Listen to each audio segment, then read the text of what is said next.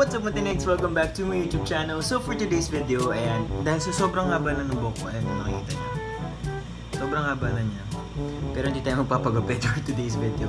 Ang gagawin ko ay magpapa, magbe-bleach ako ng buhok tapos lalagyan ko ng kulay. And yung kulay na nakita ko dun sa bilihan ay dust. So I wanna try that out. Pero ang gagawin ko, i-highlight ko lang yun sa buhok ko. Tapos hindi ko hindi ko talaga entirely nakukulayan ng dust kasi sobrang puti nun magmukha ka na akong ano, ewan.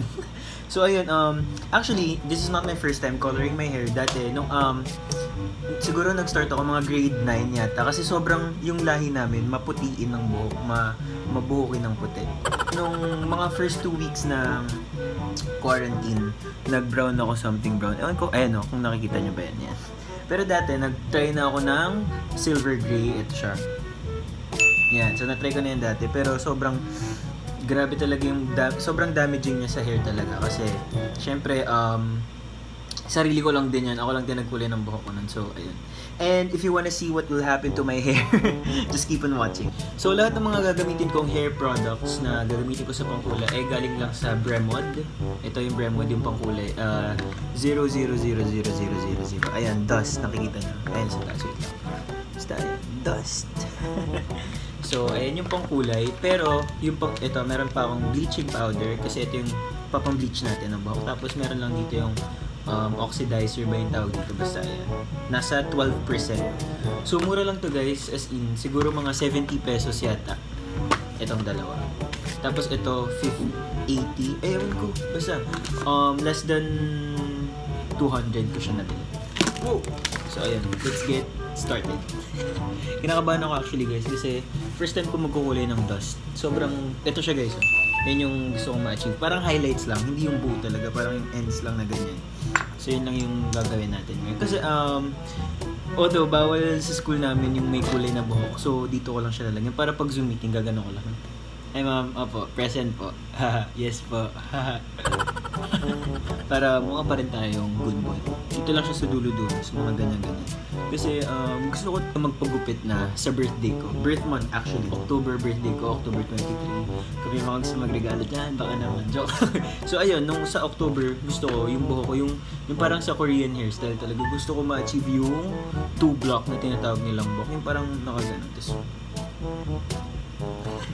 So, ayun. So, pag nagpagupit ako nun, syempre, makaka-cut off na din yung mga um, hair color na nilagyan ko. So, okay na siya. So, back to black na. So, una natin gagawin, of course, is mag-bleach tayo. So, ayan.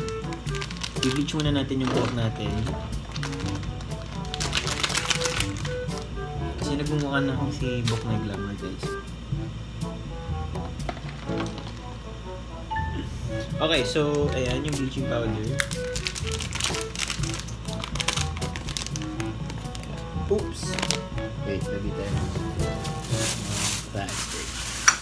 Para hindi siya makalagay. Okay, woo! Actually, hindi ko alam kung gano'ng karami. Pero bahala na. Actually, dapat dalawa kami ni Ate Abby magkukulay na bukas. So, naiya daw siya sa vlog. Whatever. Whatever. So, ako na lang muna. Mamaya daw siya. Sasali siya. So, dadamihan ko na itong pang bleach ko kasi dalawang beses i-bleach. Kasi ganun talaga ang buhay. Kasi ganun yung ginawa ko last time. Kaya sobrang naging effective yung sobrang kumulay yung pangkulay. Tsaka ganun naman talaga. Ata. Lalo na pag strong yung color na like yung mga blonde, ganun. As in yung kung gusto nyo talagang palitawin yung color na gusto nyo for your hair, yun, mag-bleach kayo ng dalawang beses. Ito pala. Yan, so, tatansyahin nyo lang yung dami nito nung, ayan, yung oxidizer yata yung tawag dito, wait lang, developer nakalagay. Basta, ito mahalaga to kasi ito yung magpapakulay. Meron kasi nitong iba't ibang volume. Ito nakalagay dito, 12%. Liwanag ko. Basta ayun, 12%. Tapos merong iba, 6%, 9%. Pero ito yung binigay sa kanya ate, 12% kasi daw. Yan yung mas effective. Or ewan ko. Yun yung sabi niya guys eh. Siya yung okay niyo. yan, so if you guys are um, bored and you have nothing to do with your hair, yun, magkulay kayo. Wala lang, trip-trip lang. I feel like sobrang dami na nito. So, gagamit ako syempre. Wala kasi akong makitang gloves, so plastic lang mga kamay. Ito, dito ako titingin guys kasi meron ng mirror dito. Mirror. Rar. So, yan. Actually, hindi ko alam. Din ko kita. Hindi ko alam kung paano siya gagawin. Siguro half ko dito.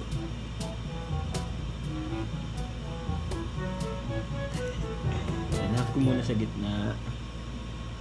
Eh, no, pag na, basta pag nakikita nyo in person, meron talagang, ano, brown yung hair ko. So, ito. No, kinakabahan ako. Ako kinakabahan ko. No! Okay, let's do this. Woohoo!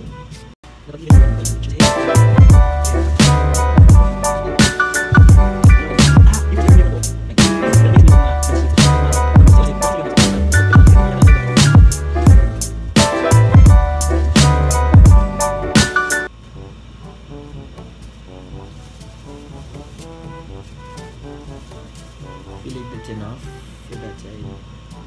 You sure? okay, next naman tayo. Dito, sa kabila. Ako, mukhang mahirapan ako sa kabila.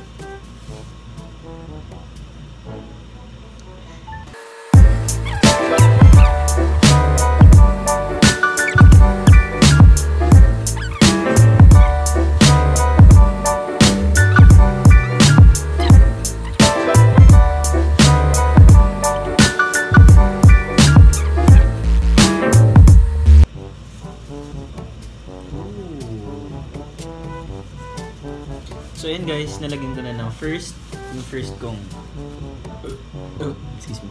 Yan, nalagyan ko na yung first kong um, bleach sa gilid. Siguro feel ko kulang yun sa gilid. Dagdagan ko.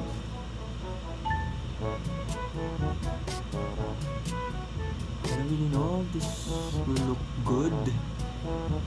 Oh no. But let's just hope and pray will look good. Talagang gilid kasi hindi ko makikita. So ayan guys, mag-wait na ako ng 30 minutes. Tama ba? 30 minutes. Yeah, 30 minutes. Tapos, babalawan natin and then part 2 na. Yung second lagay na ng, second, second application na natin ng bleach. So, ayan, ko-cover ko lang ng plastic yung buhok ko. Yo. Move. Bala na si Batman. Yan guys, so cover lang natin ng plastic para Mama.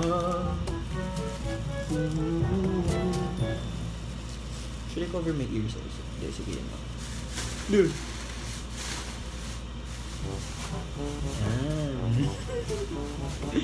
Totoo ako na para sa akin. I really doing this? Yes. So, waiting time.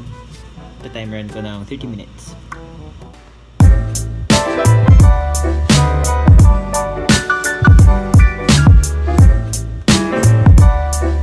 I have visitors. Say hi. Hi, we, I have we, Hello. teacher voice visitor. It's ah. Oops, slowly. Have visitors. We are the vi- I'm the visitor. Do. We're the visitor.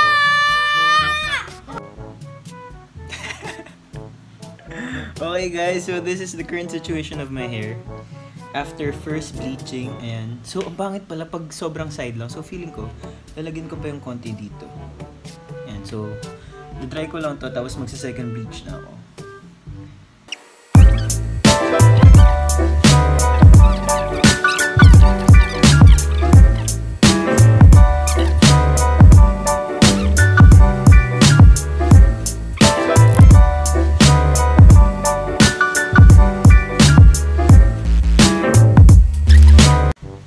Hi guys, so update lang ayun na. Um, I'm almost 20 minutes done with the second layer, second layer, second application ng bleach. So ayan.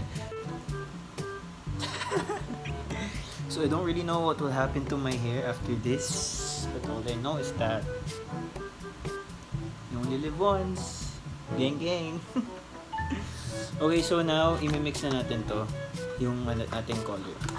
So, ayun guys. Um, mga, yung bleaching pa lang yun. That's the bleaching part. So, ayan. And then, itong cover guys. Ayan o, di ba? Sarado yan. Ito yung cover, ganyan. Bubuksan nyo, tapos i-ano nyo yung nasa tuktok.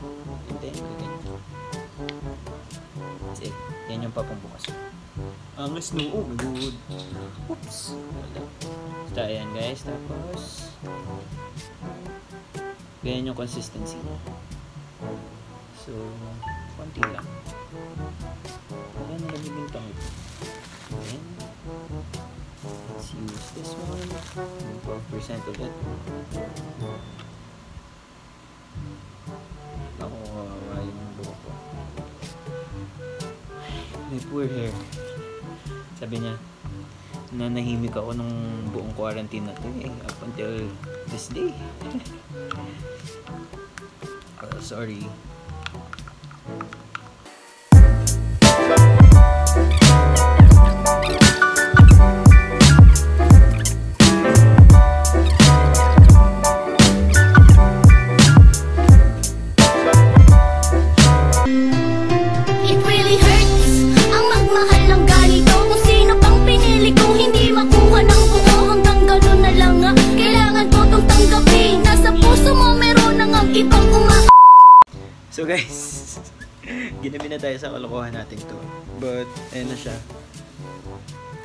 I failed as a person. so, babaluan ko lang to. Maliligo na rin ako. So, let's go! So, what's up guys? This is the next day Matthew. Hindi ko na napakita sa inyo kahapon yung pagbabago ng buhok ko kasi sobrang ginabi na ako. But, here it is. Walang nagbago. So, ayan lang guys. Yung... Don't really know. Actually, hindi naman ganito yung gusto kong result. Ah, Kahapon pala guys, eh no, medyo brown yung dito ko nakikita. Actually, kahapon kasi, di ba meron din dito? Ang pangit nung dito. So, ang ginawa ko, inayos ko siya, nilagyan ko siya ng black. So, kawawang kawawa na yung buhok ko as of the moment. So, hindi kumulay yung gusto kong kulay. I feel like it's because minadali ko yung bleaching process ko. Pero naghintay naman ako ng 30 minutes. So, but the next, ang ma-advise ko sa inyo, eh, huwag kayo DIY ng mga coloring. Lalo na pag gusto nyo yung highlights, kasi ang hirap talaga niya. So, ayun. Ewan ko, feel ko malirang din yung steps na ginawa ko. Basta, kung ano lang yung naisip kong gawin, yun yung ginawa ko. well, anyways, ayun na siya, andyan na siya. And ayoko naman ng gawing black ulit lahat. So, yun, Matinex, I guess that's it for today's video. I hope you guys liked it. And, ewan ko ba? Kung matutuwa kayo or what? But if you guys liked it, um, if you guys enjoyed this video, please give it a thumbs up. And if you guys are new here, please do subscribe and click the notification bell button below for you guys to be notified whenever I upload another video on this YouTube channel. So stay safe everyone, stay matinig, I love you all. Magaling, malakas ang dating hard like a rock Stars what I am Yeah, you can be my guitar